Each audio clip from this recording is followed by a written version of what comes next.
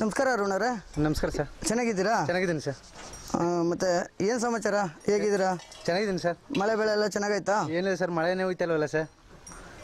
ಯಾಕೆ ಇಲ್ಲಿ ನಿಂತಿದೆ ಏನು ಹೊಸ ಬರ ಇಟ್ಕೊಂಡಿದೀಯಾ ಸರ್ ಹಸಿಗೆ ಬೇದಿ ಆಗಿಬಿಟ್ಟಿದೆ ಸರ್ ತುಂಬ. ಸರ್ ನಮ್ಮ ಹಸಿಗೆ ಒಂದು ವಾರದಿಂದ ಬೇದಿ ನಿಲ್ತಾಯಿಲ್ಲ ಸರ್. ಏನು ಕೊಟ್ಟರು ನಿಲ್ತಾನೇ ಇಲ್ಲ. ಅದಕ್ಕೆ ಏನು ಮಾಡೋದು ಅಂತ ಗೊತ್ತಾಯ್ತಲ್ಲ ಸರ್. ಹೌದಾ ಅವರೇ ಬೇದಿ ಅಂದ್ರಲ್ಲ ಈಗ ಏನೇನು ಹಸುನಲ್ಲಿ ಏನಾದರೂ ಲಕ್ಷಣ ಏನೇನು ಕಾಣ್ತಾ ಇದ್ದಾವೆ ಸರ್ ಹಸಿರುಗಳ ಲಕ್ಷಣದಲ್ಲಿ ಸಗಣಿಯಲ್ಲಿ ತಳ್ಳಗಾಗ್ತಾ ಇದೆಯಾ? ಆಮೇಲೆ ಸಗಣಿಯಲ್ಲಿ ರಕ್ತ ಬೀಳ್ತಿದೆ. ಹಾಗೆ ಕಣ್ಣಿನಲ್ಲಿ ಹೊಳಪು ಕಡಿಮೆ ಆಗಿದೆ. ಚರ್ಮ ಗಟ್ಟಿಯಾಗಿದೆ. ಹಾಗೆ ಮೂಲಕ ಹಾಕೋದು ಕಡಿಮೆ ಮಾಡಿದೆ. ನೋಡ್ರಿ ಅರುಣ್ ಅವರೇ ಏನಂದ್ರೆ ನೀವು ಇದ್ದೀಗ ಹೇಳ್ದಂಗೆ ಅದು ಹೇಗೆ ಅದು ಬೇಗ ಬೇದಿ ಹೊಡ್ಕೊಳ್ಳೋದಕ್ಕೆ ಏನು ಕಾರಣ ಅಂದರೆ ನಾವು ಕೊಡುವಂಥ ಆಹಾರ. ಆಹಾರ ಅಂದರೆ ಏನು? ಹುಲ್ಲಿರ್ಬೋದು ಮತ್ತು ಹಿಂಡಿ ಬೂಸ ಇರ್ಬೋದು. ಮತ್ತೆ ಹೆಂಜಿಲ್ ನೀವು ನಾವೇನು ತಟ್ಟೆ ತೊಳೆದು ನೀರು ಕೊಡ್ತೀವಲ್ಲ ಆ ನೀರಿಂದನೂ ಇರ್ಬೋದು. ಸಮಸ್ಯೆ ಉಂಟಾಗುತ್ತೆ. ಮತ್ತೇನಪ್ಪ ಅಂದರೆ ನಾವು ಹೊರಗಡೆಯಿಂದ ನೀರು ಸರಿ ಇರಲ್ಲ ಅಷ್ಟು ಶುದ್ಧತೆ ಇರಲ್ಲ ಹೊರಗಡೆಯಿಂದ ಎಲ್ಲೋ ಕೊಚ್ಚಿಲ್ ನೀರು ಕುಡಿಸಿರ್ತೀವಿ ಹಂಗಿದ್ರೋದ್ರಿಂದ ಕೂಡ ಈ ಒಂದು ಸಮಸ್ಯೆ ಬರ್ಬೋದು. ಮತ್ತೇನಪ್ಪ ಅಂದರೆ ಇನ್ನೊಂದೇನೆಂದರೆ ತನ್ನ ಹೊಟ್ಟೆ ಒಳಗಡೆ ಕ್ರಿಮಿಗಳು ಅಂತ ಹೇಳ್ತೀವಿ. ಆ, ಕ್ರಿಮಿಗಳು ಇದ್ದಾಗ ಕೂಡ ಒಳಗಡೆ ಅದು ಸರಿಯಾಗಿ ಆರೋಗ್ಯ ಆ, ಇದಾಗಲ್ಲ ಏನು ಸರಿಯಾಗಿ ಆರೋಗ್ಯ ಮಾಡಲ್ಲ. ಅದು ತಿಂದಂಥ ಊಟನ ಆರೋಗ್ಯ ಮಾಡಲ್ಲ. ಸೊ ಹಂಗಿರೋದ್ರಿಂದ ಕೂಡ ಇದು ಬೇದಿ ಹೊಡೆಯುವಂಥ ಒಂದು ಸಾಧ್ಯತೆ ಇರುತ್ತೆ. ಅರುಣ್ ಅವರೇ. ಸರ್ ಬೇದಿ ನಿಲ್ಲೋದಕ್ಕೆ ಏನು ಪರಿಹಾರ ಇಲ್ವಾ ಸರ್? ಅದೇ ಅರುಣ್ ಅವರೇ ಈಗ ನೀವೇನೆಂದರೆ ಬೇದಿ ಹೊಡ್ಕೊಳ್ಳೋದಕ್ಕೆ ಸಮಸ್ಯೆಗಳಿಗೆ ನಿಜವಾಗೂ ನಮ್ಮ ಮನೆಗಳಲ್ಲೇ ಇರುವಂಥ ವಸ್ತುಗಳನ್ನು ಉಪಯೋಗಿಸಿ ನಾವು ಔಷಧಿಗಳನ್ನು ಕೂಡ ಮಾಡ್ಕೋಬೋದು. ಸೊ ನಾವು ಅದು ಯಾವ ರೀತಿ ನಾವು ಔಷಧಿಗಳನ್ನು ತಯಾರು ಮಾಡ್ಕೋಬೇಕು ಮತ್ತು ಏನೆಲ್ಲ ಬೇಕಾಗುತ್ತೆ ಅನ್ನೋದು ನಿಮಗೆ ತೋರಿಸ್ಕೊಡ್ತೀನಿ ಅರುಣ್ ಅವರೇ. ಹೇಳಿ ಸರ್. ತೋರಿಸ್ಕೊಡಿ ಸರ್. ಈ ಔಷಧಿ ತಯಾರು ಮಾಡಬೇಕಂದ್ರೆ ಇಪ್ಪತ್ತು ಪಪ್ಪಾಯ ಬೀಜ ಬೇಕಾಗುತ್ತೆ. ಹೇಳಿ ಸರ್. ಮೂರು ದಾಳಿಂಬೆ ಹಣ್ಣಿನ ಚಿಪ್ಪೆ ಬೇಕಾಗುತ್ತೆ. ಐವತ್ತು ಗ್ರಾಮು ಸೋಂಪು ಬೇಕಾಗುತ್ತೆ. ಹೌದು ಸರ್.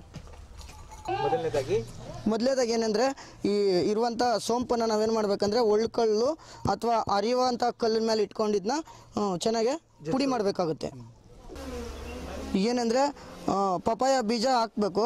ಹಾಗೆ ದಾಳಿಂಬೆ ಬೀಜ ಹಾಕಬೇಕು. ಪಪಾಯ ಬೀಜ ಏನಪ್ಪ ಅಂದರೆ, ಇನ್ನು ಆದಷ್ಟು ಇದು ಬಲ್ತಿದ ಹಣ್ಣಾಗಿರುವಂಥ ಹಣ್ಣಿನ ಹಣ್ಣನ್ನು ತಗೊಂಡ್ರೆ ಒಳಗಡೆ ಬೀಜ ಕಪ್ಪಿರುತ್ತೆ. ಅಂಥ ಬೀಜನ ನಾವಿಲ್ಲಿ ಉಪಯೋಗಿಸ್ಕೋಬೇಕು. ಅದೇ ರೀತಿ ನಾವು ತಂದಿರುವಂಥ ಎಲ್ಲ ಮೂರು ದಾನಿಂಬೆ ಕಾಯಿಗಳು ಚಿಪ್ಪೆ ಕೂಡ ನಾವು ಒಳಗಡೆಗೆ ಒಂದು ಒಳ್ಕಲ್ಲು ಅಥವಾ ನಮ್ಮ ಅರಿಯ ಖಾರ ಅರಿಯುವಂಥ ಕಲ್ಲು ಮೇಲೆ ಇದನ್ನು ಇಟ್ಟು ಚೆನ್ನಾಗಿ ಅದನ್ನು ಕೂಡ ನಾನು ಚೆನ್ನಾಗಿ ಅರಿಬೇಕಾಗುತ್ತೆ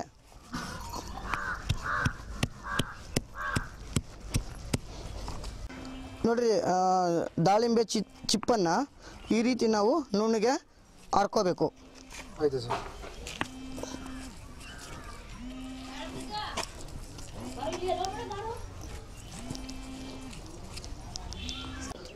ಉಗುರು ಬೆಚ್ಚಗಿರುವಂಥ ಒಂದು ಲೀಟ್ರ್ ನೀರು ಬೇಕಾಗುತ್ತೆ. ಹೌದು ಸರ್.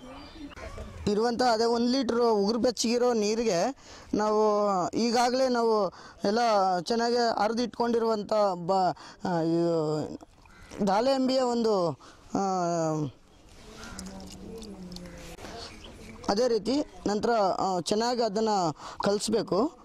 ಕಲಿಸಿದ ನಂತರ ಸೋಂಪು ಪುಡಿನೂ ಕೂಡ ನಾವು ಪುಡಿ ಮಾಡಿ ಇಟ್ಕೊಂಡಿರ್ತೀವಿ ಅದನ್ನು ಸಹ ಆ ನೀರಿನೊಳಗನೆ ಹಾಕಿ ಅದನ್ನು ಕೂಡ ನಾನು ಚೆನ್ನಾಗಿ ಕೈಯಿಂದ ಕೈನಿಂದ ಚೆನ್ನಾಗಿ ಹಾಕಿ ಕಲಿಸ್ಕೋಬೇಕಾಗತ್ತೆ.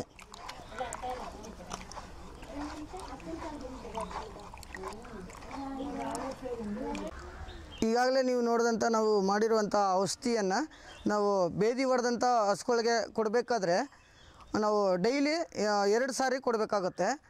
ಅದೇ ರೀತಿ ನಾವು ಮೂರರಿಂದ ನಾಲ್ಕು ದಿನದ ತನಕ ಕೂಡ ನಾವು ಗೊಟ್ಟದಿಂದ ಕುಡಿಸಿದ್ದೆ ಆದರೆ ಅಂದರೆ ಬೇದಿ ಹೊಡೆಯೋದು ನಿಲ್ಲುತ್ತೆ.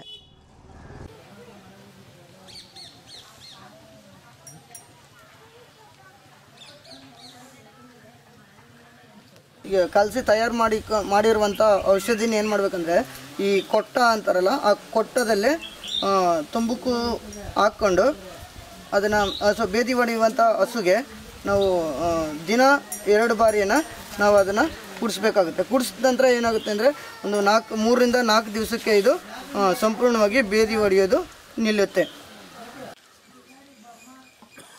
ಪಟ್ಟದಲ್ಲಿ ಈ ರೀತಿ ತುಂಬಿಸ್ಕೊಂಡು ಹಸುವಿಗೆ ಹಚ್ಚಬೇಕಾಗುತ್ತೆ